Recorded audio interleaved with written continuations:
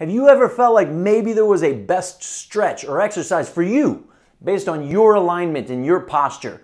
See, we all have different muscular imbalances, and how we respond to a certain stretch or exercise could be different for each of us based on those muscular imbalances. And today, I'm going to talk about the two extremes of when the neck comes too far forward, or some people have more of a very upright military neck where it almost comes too far backwards uh, and they don't have enough of a curvature in their neck. Uh, I'm going to talk about the consequences of those and I'm going to talk about how we could correct those.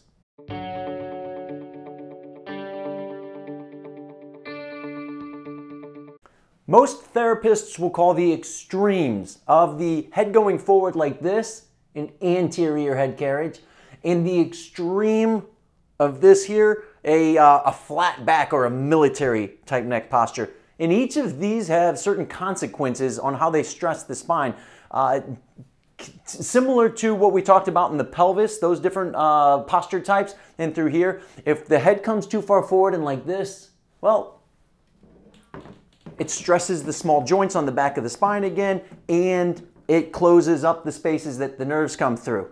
And if they've got more of the military neck or this ramrod spine that's in there, they don't have the nice curvature of the spine that we should have. We should have a slight curvature of the spine there, and it puts more forces uh, straight through the spine, makes us more susceptible to disc injuries.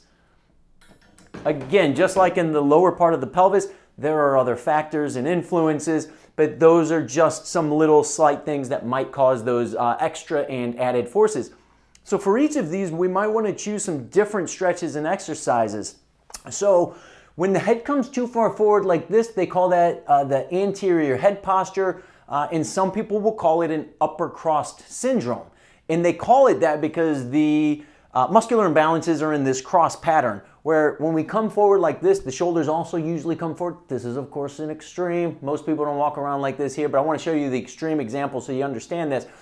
We're usually tight in the front of the chest here that pulls our uh, shoulders forward, and we're usually tight up in through here in the neck because as we, you know, devices like this, and then I got to look forward, we do that. And so we get all of this tightness and tension in here. So tight here. A lot of times, might even be tight up in here. The shoulders might come up, but we're tight in here, and it makes this cross pattern. Where the weaknesses are on this one are in the very deep front part of the neck. And I'm not talking about your throat right here. I'm talking behind the throat. So Let's say your throat's right here. Behind all of that, you've got muscles on the very deep front part of your neck. They're called the deep neck flexors. Those are usually weak. And the muscles in between our shoulder blade, if I show you here, so these are weak, and then the muscles in between our shoulder blade are usually weak because we're pulled forward like this and we want to pull those back. And so again, weak here, weak here, and it has that cross. So they call it this upper crossed syndrome.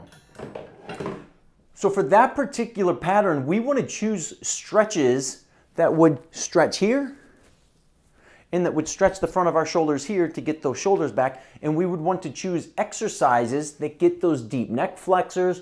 There's lots of exercises we could get for the deep neck flexors. If we live here, we want to do this. And we want to choose exercises that will strengthen in between our shoulder blades. Okay, so for the other one, the very upright military neck, it's less common, but it exists. These people, they're very tall and you know they almost look elegant in through there. Well, there are consequences to that again, and they almost have the, the opposite muscle imbalances. So they're usually very pulled back in their shoulder blades. We don't necessarily need to be pulled back like this. There should be a slight tilt of the shoulders going forward. Very subtle, but it should be slight. And so if we're pulled back like this too much, there are consequences to that. So they might almost want to stretch the back of that shoulder in through there. Um, they're usually needing strengthening in through here.